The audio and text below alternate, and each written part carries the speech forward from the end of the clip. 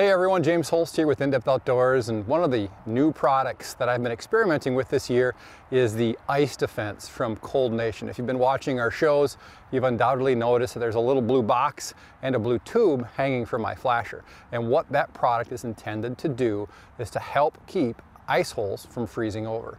Uh, I spent a lot of time fishing outside of the ice house, so it's something that I really wanted to give a try. And I've received a lot of questions about, well, how does it work at 10 degrees or how does it work at zero? And honestly, um, I've been out on the ice fishing. I haven't been doing any product tests, but that's what we're gonna do today. I'm gonna just keep things pretty similar to the way I fish. I'm gonna punch a couple of holes.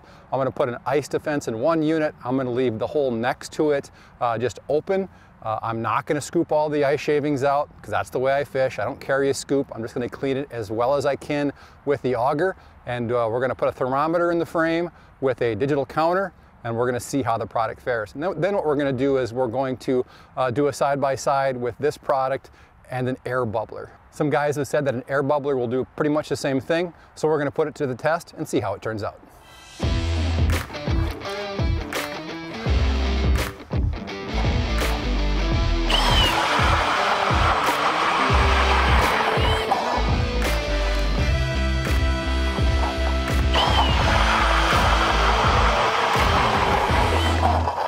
All right, so the way this works, where the ice defense is set up to work is there's a little control box over here with a dial on it. Uh, you can turn it on or off or select any power setting from on and off. What I'm gonna do is I'm just gonna turn her on, crank her up, and see how well this will keep ice out of the hole. And the principle it works on is there's warmer water further down in the hole. So it's lifting that warmer water and distributing it up near the top uh, to melt off that ice. So we've got that in place right now. You can see that the water is disturbed, it's moving around. There's a little slush left in the hole. We'll see what it does to that. We're gonna start the timer. Get it somewhere where we can see it. I would say that this hole here probably got a little bit less slush than this one, but just to make sure, there, there's some extra. All right, let's let it run.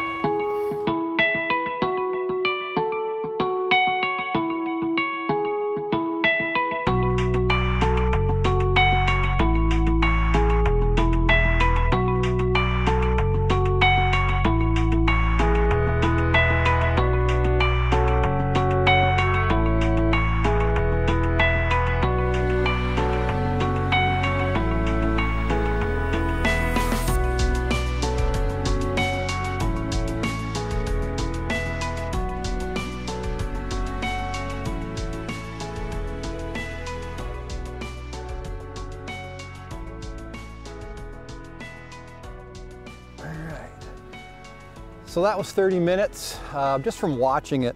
Uh, it took about 14, maybe 15 minutes for the ice defense to just completely chew up or melt all the ice that was in this hole. And if you remember at the start, I kind of threw some extra in there. So it does a really good job of, uh, if you uh, accidentally kick a bunch of slush in there, it's gonna clean it up. Uh, on this side, well, that'll tell you what you need to know.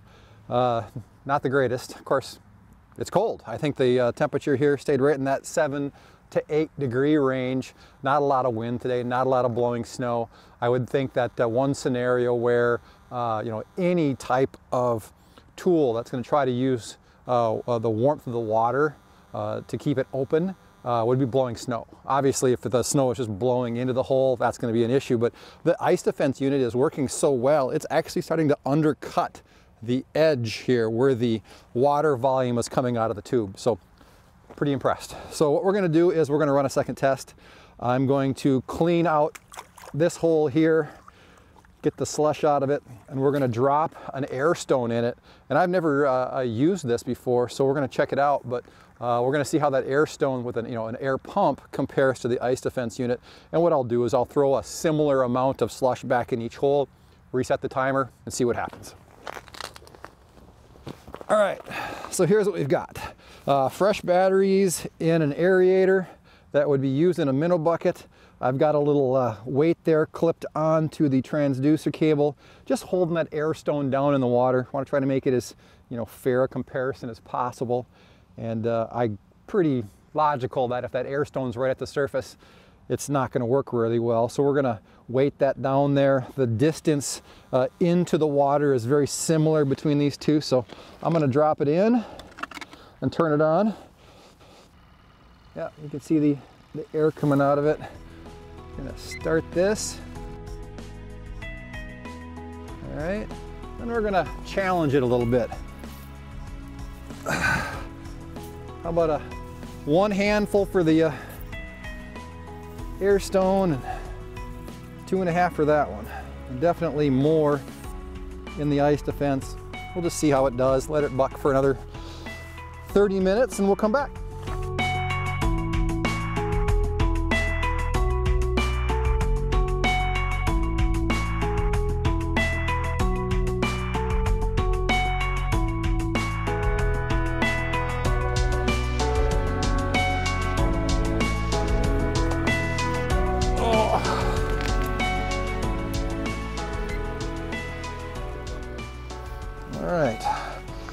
Shut them both down here. So what conclusions am I gonna offer here? Um, ice Defense chewed up the slush that was in there, did a pretty good job with that. Um, doesn't look like the air stone will actually chew up much ice in the hole. Uh, it was pushing ice formation off the side, so wherever the bubbles were coming up, uh, there wasn't ice forming there, but definitely doesn't do anywhere near as good a job as the ice defense unit. Uh, one of the other advantages, things that I like about the ice defense is you can just run it right off of uh, the, the Marcum unit, just plug it in and go.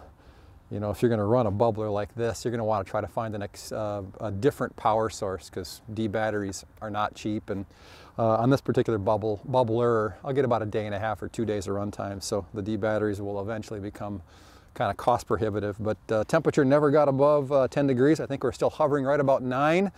That's pretty cold. Um, I'm comfortable saying that if you left the ice defense in that hole and kept power to it, it would keep it from icing over pretty much indefinitely. So uh, it was a nice little test. Uh, certainly not the, uh, the end all beat all, cover all, all, scenarios. I've never experimented with the air stone before, so there might be you know, slightly better ways to go about using it. But overall, uh, it's a pretty cool technology. Uh, not a lot of weight and a very efficient little motor in there. Uh, the manufacturer says that off a 9 amp uh, hour battery, you know, the kind that you'll find in most fish finders, that unit will run for about three days. So a lot of runtime. So that's it. Um, I'll look for more opportunities to kind of experiment and learn more uh, about how this works, but uh, so far, pretty impressed.